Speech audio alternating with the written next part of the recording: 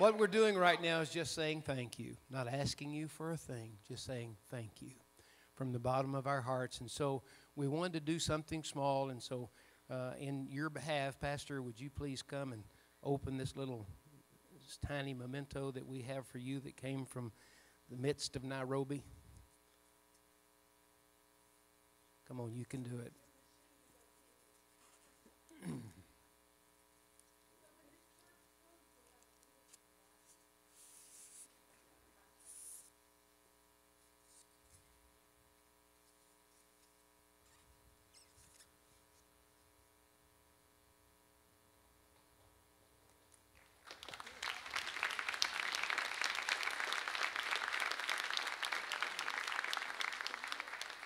Thank you, brother. We are so grateful from the bottom of our heart to you and this great church.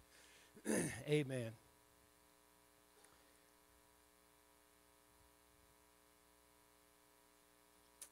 Well, it's good to be with you today. You know, you will never know what uh, Marigold and I have felt in this great church. We came several months ago to a meeting, and then we were fortunate enough to get to share the gospel or preach the word to you back in September. And I, I just want you to know that we came within this close to spending a hundred and some odd thousand dollars just to be close enough so that when we're home from Africa, we could be in this church while we're here. Didn't quite make it, but it's something that we had in our hearts. And I want you to know that when we start this meeting this morning. The meeting started a long time ago when we started this part of the meeting this morning. And I want you to know that I feel a little bit this morning like a, a fellow I heard about one time. They were having a, a meeting up in heaven after the rapture had taken place, and everybody was gathered around giving their testimonies of the things that had happened to them while they were on earth. And one guy came up and he said, I, I, just, I just got to tell. I, Peter was the moderator, so he said, I just have to tell you what happened to me because I was in the great Johnstown flood a number of years ago when the dam burst. And when, when uh, the dam burst, the Lord spared me supernaturally, and I just have to tell my story. So Peter said, Well, that's a wonderful story, and I think you should share it. He said, There's only one thing I think you need to be aware of Noah will be in the audience. And the reason I'm telling you that is because I understand. I haven't seen him yet. I'm sure he's here somewhere, but my favorite preacher in the whole wide world is in this service this morning. Brother Brankel, where are you? I still hadn't said. There you are. There you are. My favorite preacher in the whole. I always wanted to preach like Brother Brankel. That was my goal in life was to preach like Brother Brankel. And I want you to know, brother, it's an honor to have you sitting in this service this morning. Love you more than I can ever tell you. You just mean the world to me, and you always have, and you always will. One of the greatest honors of my life was when I was pastoring down in southern Louisiana, and Brother Brankel came and shared a revival for us while we were there. Tried to get him to come back several times, never could quite manage it, but uh, I just want you to know how much I love you, brother, and it's a joy to be here. And I, I, I just, it's my pleasure.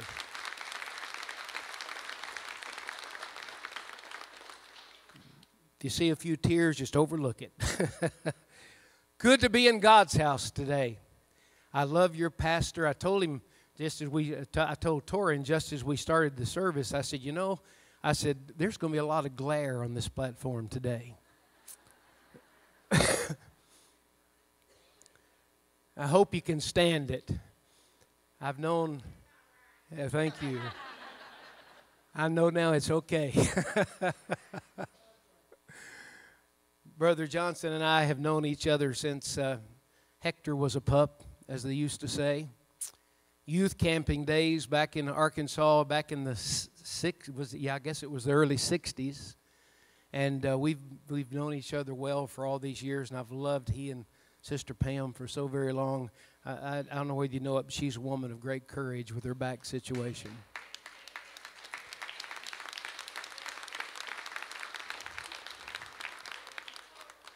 In short, I can't tell you what an honor it is to be here today. I'd like for you to turn with me in your Bibles this morning to the book of Matthew. ex tax collector, ex thief. Aren't you glad we can be exes in Jesus? I'll be going from here to uh, the book of Colossians. We're an ex murderer, an ex self righteous Pharisee. Aren't you glad we can be an ex when Jesus calls us? Hallelujah. So we're going to look at Matthew chapter 21, begin reading with verse number 1, please.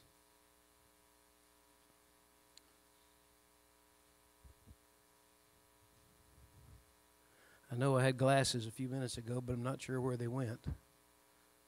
Ah, wrong pocket. Now, when they drew near Jerusalem and came to Bethphage at the Mount of Olives, then Jesus sent two disciples, saying to them, Go into the village opposite you, and immediately you will find a donkey tied, and a colt with her. Loose them and bring them to me. And if anyone says anything to you, you shall say, The Lord has need of them, and immediately he will send them. All this was done that it might be fulfilled, which was spoken by the prophet, saying, Tell the daughter of Zion, Behold, your king is coming to you lowly, sitting on a donkey, a colt, the foal of a donkey. So when the, disciples went and did as Jesus commanded them, they brought the donkey and the colt and laid their clothes on them and set him on them. And a very great multitude spread their clothes on the road. Others cut down branches from the trees and spread them on the road. Then the multitudes who went before and those who followed cried out, saying, Hosanna to the Son of David!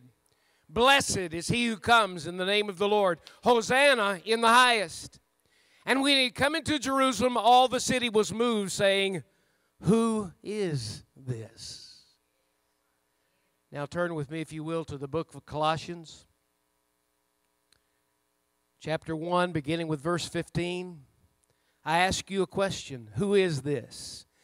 He is the, he is the image of the invisible God, the firstborn over all creation.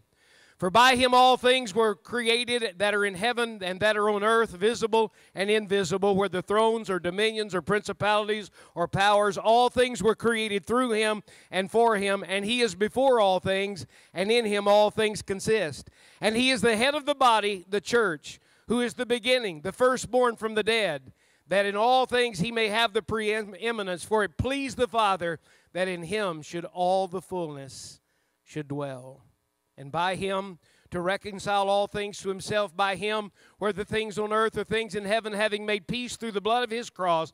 And you who were once alienated and enemies in your mind by wicked works, yet now he has reconciled in the body of his flesh through death to present you holy and blameless and above reproach in his sight if indeed you continue in the faith, grounded and steadfast, and are not moved away from the hope of the gospel which you heard, which was preached to every creature under heaven, of which I, Paul, became a minister. Who is this? He's Jesus. And there is none like him, never has been, never will be. And I'm going to speak to you for a few moments today on the subject restoring Jesus to his church. Let's pray. Father, I just thank you so much for the great privilege of being in this service today. Thank you for the people that have gathered here to worship. Thank you for the songs that have gone before. Thank you for this great choir. Thank you for the ministry of music. Thank you for Brother Gary and his sensitivity to the Holy Spirit. And thank you, Father, for the privilege of sharing the greatest truth that any human being could ever take into their mouth and speak from their lips. Because I want to talk about Jesus today.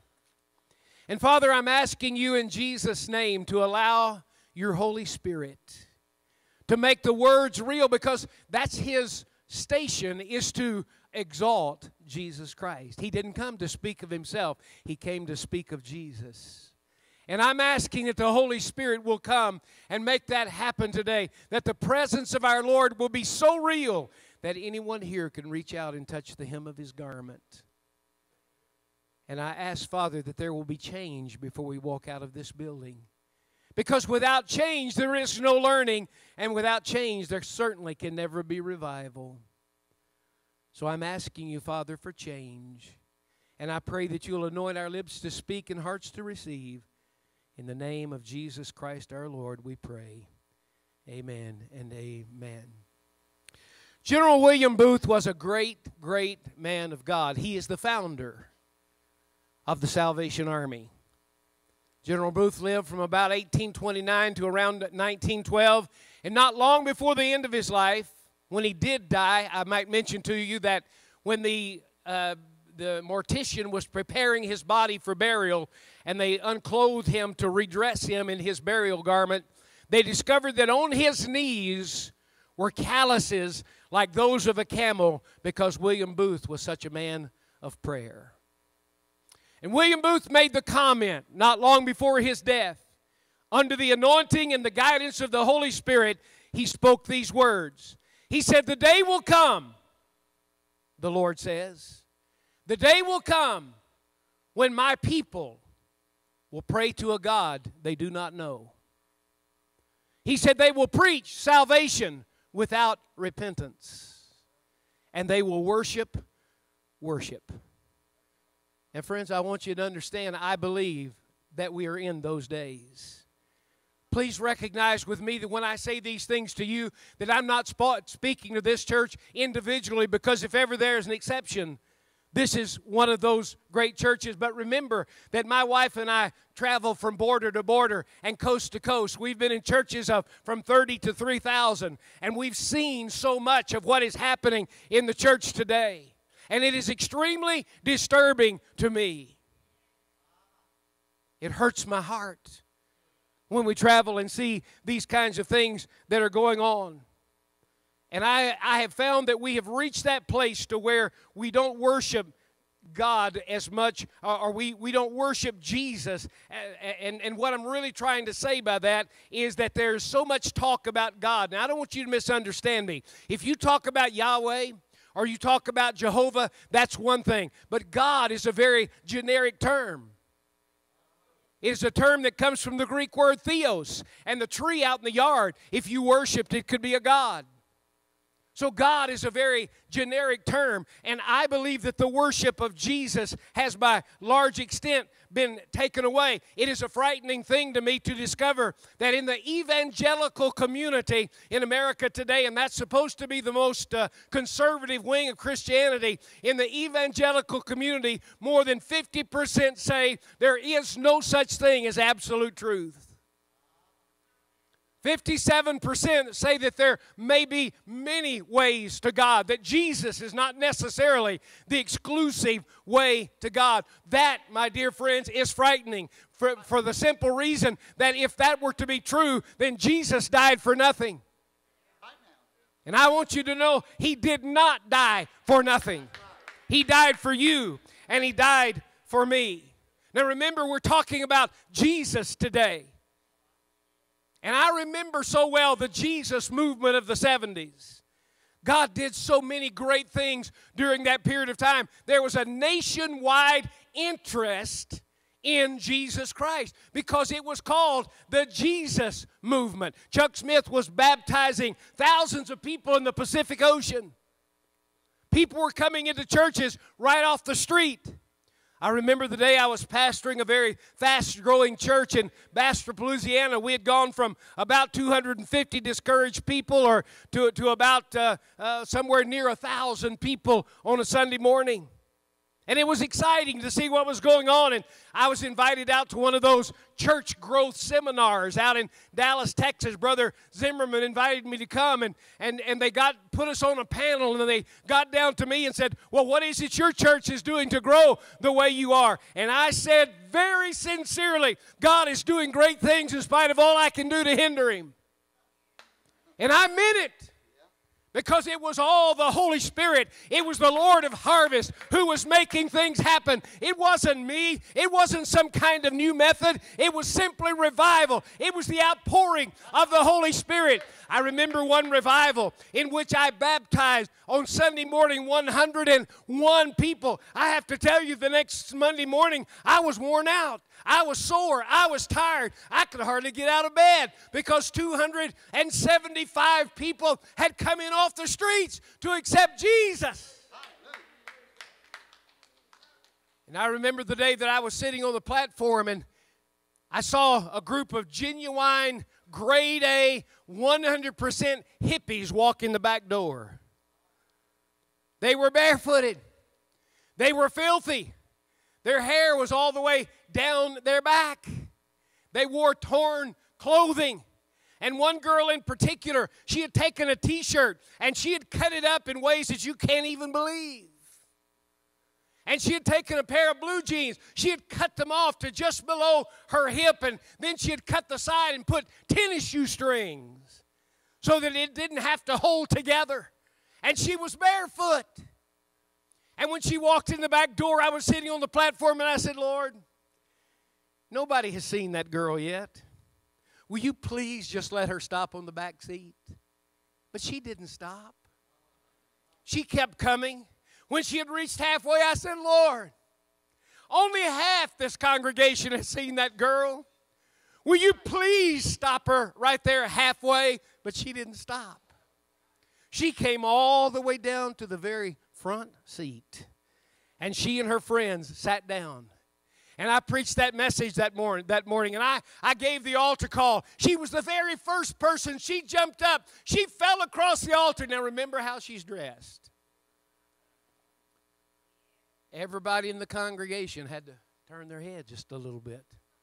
And I've never been so thankful for those dear Pentecostal church ladies because they saw what was happening and they all gathered around and got their long dresses kind of stretched out so nobody could see. But that girl found glorious salvation that day.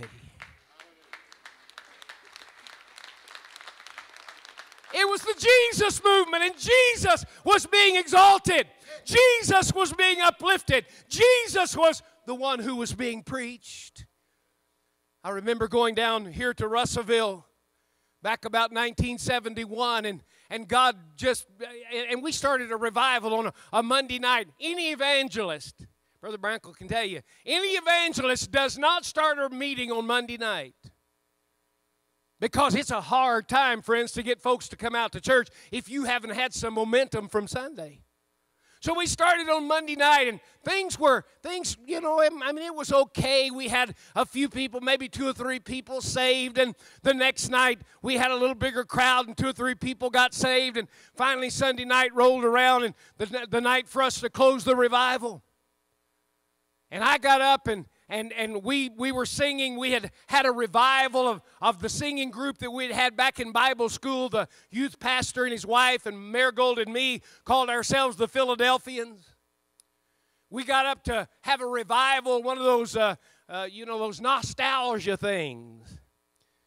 I quit persecuting the saints long ago, by the way, with music. My wife is great, but I quit persecuting the saints. But we sang that night. And I looked over at the, past, the, the, the youth pastor and I said, Brother, I said, something very special is here tonight. He said, I feel it too.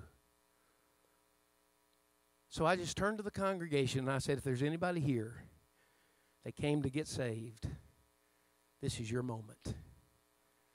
And I got to be honest with you and tell you that I was surprised when all the young people, it was three, it was a three section uh, building, and all the young people sat on the left side. There must have been about a hundred of them there that night. 15 of them got up and rushed to the altar and they accepted Jesus as the Lord of their lives. The pastor came to me and said, We can't stop this. Will you please stay? Well, you know how, eh, maybe you know how it is with an evangelist. I mean, you have a schedule and you know you're supposed to be in the next place and you want to be ready to go to the next place, but I made all the phone calls that were necessary and because I'm, I'm one of those preachers that simply doesn't believe that if you get a fire started one place, you don't try to put it out and go somewhere else. They're too hard to start.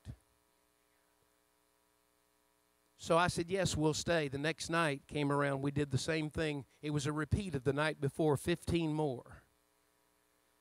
Three weeks later, there were 120 people who had accepted Jesus as the Lord of their lives. And I'm not talking about transfer growth. I'm talking about people from off the streets. As a matter of fact, the last night of that revival, that building was packed. And teachers from the school came and said, We have to see what's going on because these kids used to be discipline problems. Now all they want to do is talk about Jesus. That was the Jesus movement. It was the days of David Wilkerson when he went to New York City and saw the powerful move of God in the gangs. What I'm trying to say to you, friends, it wasn't a matter of talking about some generic term about God. It was all about Jesus. It was all about Jesus. It was all about Jesus. And friends, please hear me this morning. It is God Himself who made the choice that in Him should all the fullness of the Godhead dwell bodily. And the third person of the Trinity, the Holy Spirit, his job is to exalt and to and to and to make Jesus real wherever he is. Listen, friends, the whole of the Trinity is involved in this business of putting Jesus first in everything. He is the God man. He is our representative. He is the one who came for the purpose of making us whole when man could not live by the law, when man could not live by his conscience, when man could do none of those things. Jesus Christ came and gave his life as the perfect man to be our sacrifice and took our sins to the cross, and the handwriting of ordinances that was against us were nailed there. And now we are free by the grace of God to live a life of freedom in this world. It's all about Jesus. It's all about Jesus. Who is Jesus? He's the Son of the living God. I'm going to talk about the four square gospel in just a minute, but you see, here's what you have to know first Jesus is who he says he is. Do you understand? that there that he never gave us the choice of saying he was a good man or a prophet? Because you see, if he knew what he was saying about himself was not true, then he was a liar. And if he didn't know it and he said it anyway, he was a lunatic. And there's only one last choice, and that is he is exactly who he said he was. And friends, I don't know about you, and you can be deceived by the devil if you want to, but I want you to know, as far as I'm concerned, Jesus is the Son of the living God. And I want to tell you this morning, I don't care what 57% of the evangelical community says. The book of Acts still says there is no other name given among men whereby we must be saved except through the name of Jesus Christ. Let me tell you something this morning. I would not spend my life going to Africa. I would not spend my life going to places where I knew that very possibly we might not make it out alive if I did not believe that Jesus is is the only way, and He is everything that He said He was, and He's the only way of salvation. I remember the day we went deep in the bush to preach the Word of God. We set up tents. That's the way we did things. Bass Pro Tents. A little advertising for Johnny Morris there. Bass Pro Tents. And we would set them up and we would we would put them in a little bit of a circle and I remember when we went to a, a place called Old Posse Moro, way, way back on the Tanzania border. Nobody had ever seen a white person there. I remember so well. I parked my Land Cruiser to an old man walked up and he rubbed his hand along the side of that Land Cruiser and he looked at me and he said, You know, I've heard these things exist, but I've never seen one. That's how far in the bush we were. They'd never seen anybody like us. As a matter of fact, when we would pull into the villages, all you'd see is the bottom of the little kids' feet running because they thought some kind of ghost had come to their village.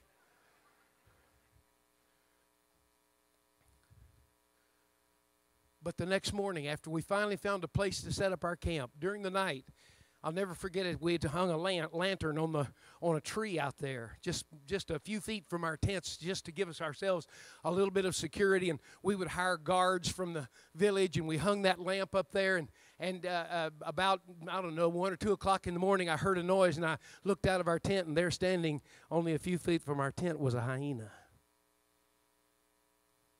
making all kinds of racket.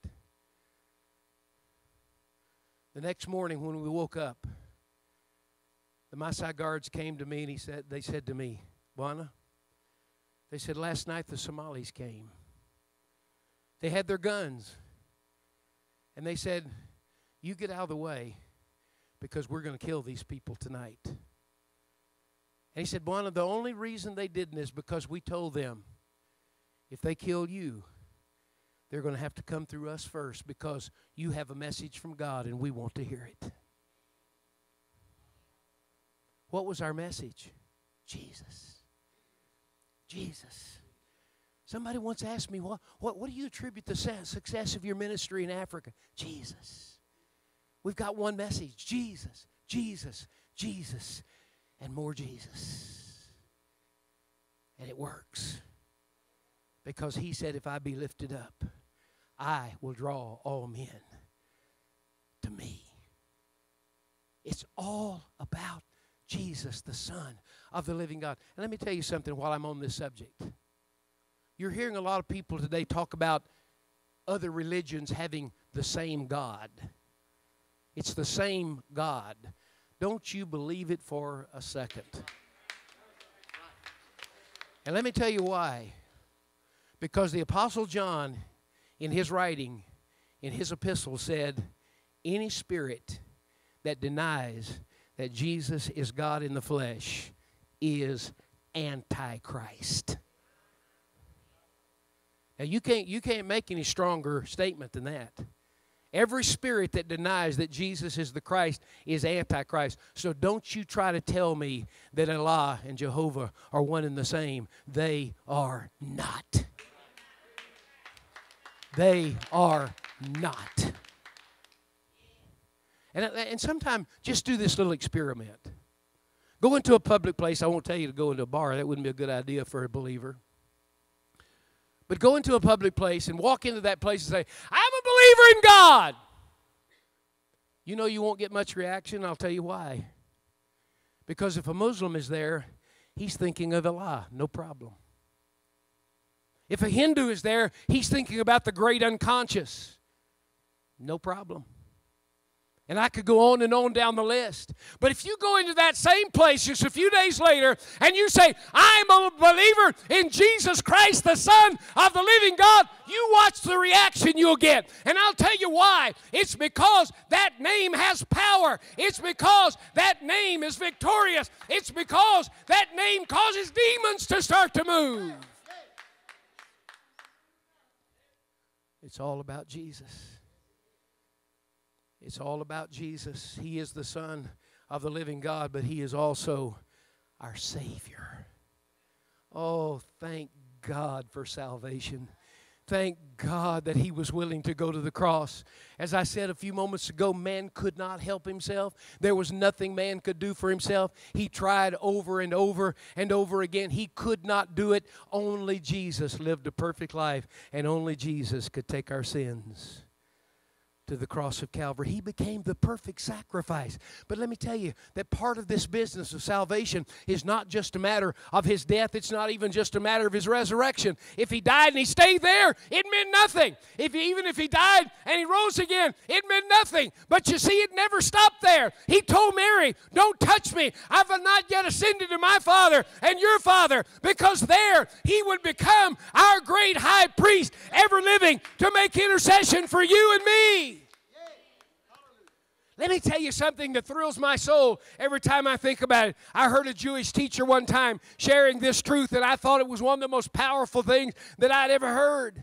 Here's what he said. He said, when Jesus, uh, uh, Caiaphas, the high priest, asked Jesus if he was the king of Israel or the Son of God, and Jesus said, You say that I am, which meant that he affirmed that he was right. It says that Caiaphas tore his garment. Let me tell you that under Jewish law, the law of God, if the high priest tore his robe, he immediately dropped dead on the spot. They had reinforced the neck of that robe because they did not want the high priest to die on the spot if he accidentally or on purpose tore the robe. But in that culture, when someone was showing their utter distaste for something, they would tear their garments. Caiaphas didn't drop dead. Why did Caiaphas not drop dead? Because Caiaphas was not the legitimate high priest. Because you see, the Romans had appointed Caiaphas as the high priest. He was not God's choice. So, who was the high priest? Well, let me tell you about a man a man who uh, went, went to the desert in, in, in camel's hair, ate locusts and wild honey. His mother, uh, his father was Zacharias. His mother was Elizabeth. And the, that man, though both of those people were descended from the Levites, and that meant that John Baptist was supposed to have been the high priest rather than Caiaphas. And when J- John baptized Jesus in the water, he was, uh, somebody has once asked the question, well, why in the world did Jesus be, need to be baptized? He had no sin. Well, let me tell you why. It's because he said to fulfill all righteousness. Because when the high priest was anointed, first he was washed. That washing took place. Then the anointing of the Holy Spirit came down upon him. And from that moment on, Jesus became our legitimate high priest in the presence of Almighty God. He died as a sacrifice, but he rose as our high priest, and he ever lives to make intercession for you and me. I'm talking about Jesus today. I'm talking about the Savior of the world. I'm talking about the only one who can change your life. As our Savior, He's also our deliverer. Life controlling problems aren't a problem. That's why Teen Challenge has a greater percentage rate of uh, a less recidivism than any other drug program is because Jesus is the deliverer. Jesus is our healer. My friend, I'm not talking to you about, today about something that I haven't experienced. I told you this story when we were here before. I'm going to just briefly allude to it. Our son, when he was seven years old, was severely burned. The doctors kept telling us he will never make it through this because of infection. He will die. He will die. He will die. For 31 days, we walked around his bed. For 31 days, he, we watched him quit breathing for five on five separate occasions. His eyes would roll back in his head. On one of the occasions, the doctor, the, the, the, the respiratory therapist said, He's gone. And she said, It just so happened that I was in there and I could bring him back. I don't have an office here. My office is on the first floor. This is the 11th. I don't come up here, but I was here just outside the door. Why was she there? Because Jesus told her to be there. Jesus told her to be there.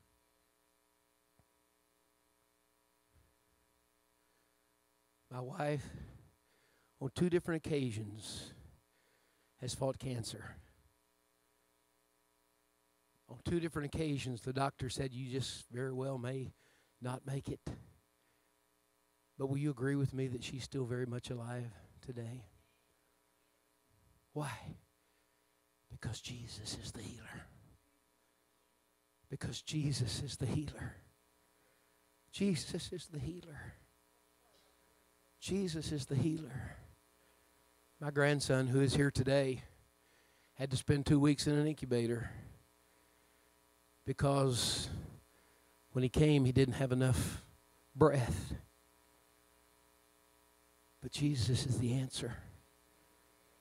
Today, he's a lot stockier than his brother, and I tell him it was because he was on the bottom and he had to hold him up for nine months. Because Jesus is the healer. Jesus is the baptizer. Oh, friends, I am so thankful to be Pentecostal today. I am so glad to be Pentecostal. I would not want to be anything else. I am so glad to be a spirit filled believer. I am so glad to be in a spirit filled church. You don't know how fortunate you are to be in a church that emphasizes the Pentecostal experience. Thank God for that. But I want you to know it's because of Jesus. He said, I will send you another comforter. And He did. He sent us the Holy Spirit to not only be with us, but to be in us and to witness of Jesus to us. And let me tell you, there's nothing in the world that'll make you believe any more than what we've seen. I went up to a, a village far, far from our camp in a, in a place called the Loita Hills. And I preached in a little tin shed that we had built as a church. We, the place was full of Maasai full of Maasai. I mean, these people had never heard, uh, one time they heard of Jesus because we preached it, and then, but they've never, they, they knew nothing about the Pentecostal experience. I mean, they had never seen Benny Hinn, not, not even once, because they don't even have a television set. They don't have a radio, much less a television. And they'd never seen any of this kind of stuff. And we preached on the infilling of the Holy Spirit that morning, and I'll never forget it as long as I live. They started coming down one at a time down the aisle. And as they would get to the front, they would just pass out one side, one side, one side, one side. And fi- there must have been a pile of Maasai this high on both sides, and all of them were speaking in other tongues as the Spirit gave the utterance. What, what, what, what do they sound like when they're filled with the Holy Spirit? Just like you do just like you do. You, you could hear the same kind of language as you hear around here. And those Maasai who had never heard any of this in their entire lives are the, laying on the floor speaking in other tongues as the Spirit gave the utterance. It's real, folks. It's real. And then I want to tell you, He's not only our Savior, He's not only our healer, He's not only our deliverer, but He is our soon coming King.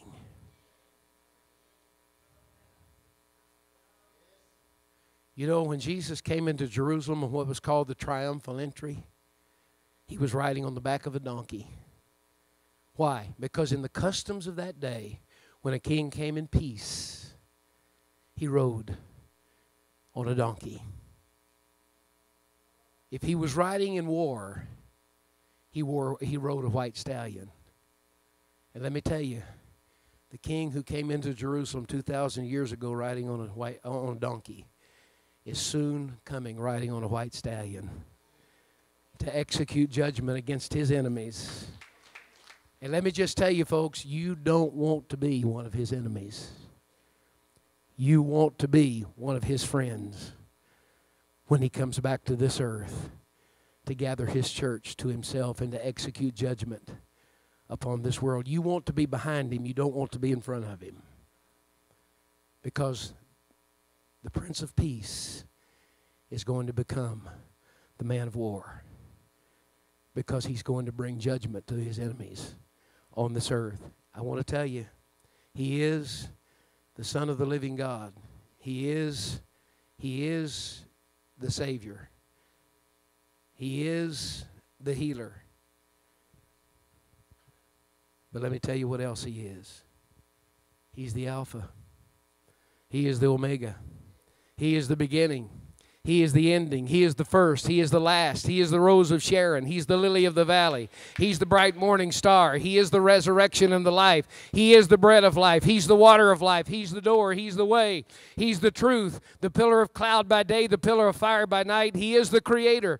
He is the sustainer of creation. He is the Lamb of God that takes away the sin of the world. He is the fourth man in the fire. He is the captain of the Lord's host. He is the seed of Abraham. He is the lion of the tribe of Judah. He is the kinsman redeemer. He is the King of kings. He is the Lord of lords. He is the prophet uh, without equal. He is the great high priest. He is Messiah. He is Jehovah. He is the Prince of Peace. And as John said, I guess all the books that have ever been written would never fill all the information as to what he is and what he does. Jesus. Jesus. Jesus. Jesus. Would you stand with me, please, and just say it? Jesus. Jesus. Jesus. Jesus. Let me tell you something, folks. Where you're sitting, where you are right now, if you need healing, He's the healer. If you need the baptism in the Holy Spirit, He's the baptizer. If you need a Savior, He is the Savior this morning. He is anything you need Him to be. When He comes back, His name will be changed from Jesus to King of Kings and Lord of Lords. Because He is in any generation what man needs Him to be. And now He is our Savior, our deliverer, our baptizer, our soon coming King. Whatever you need today, it's yours. I've told you personal experiences of how Jesus has healed, how He's delivered, how He's set us free time and time and time and time again. And please forgive me for using personal illustrations, but one thing people can't argue about with you about is a testimony. Thank you for that testimony earlier, brother. He knows it happened to him. People can't argue with the testimony. And whatever you need today, Jesus is here by His Spirit to give you whatever you need. While every head is bowed and every eye closed, I want to ask you first and foremost is there anyone in this building you're not saved? You may be religious. You may have had some kind of experience in the past, but you know without a doubt that you're not saved. I want you to know Jesus is here to be your Savior today and to become your intercessor before the throne of God. While every head is bowed and every eye is closed, I wonder if there's one person in the house that will lift your hand and say, I need Jesus as my Savior. I'm not saved today, but I want to be saved. I do not want to miss heaven. Would you lift your hand anywhere in the house? Anywhere in the house. Just lift it up so I can see it. I want to pray for you anywhere in the house. Anywhere in the house. I know we prayed earlier, but is there anyone in the house who needs healing for your body? I want you just to raise your hand as an affirmation that you need a touch. There's one, two, three, many hands going up all over the building. Without hesitation, why don't you just come and sit on this altar so that we can have people to come and pray for you? Jesus is here. It isn't because Cheshire's here. It isn't because Pastor is here. It isn't because the elders are here. It's because Jesus is here. If you need healing for your body, just come and sit. But come expecting a miracle. Come expecting a miracle. Come expecting.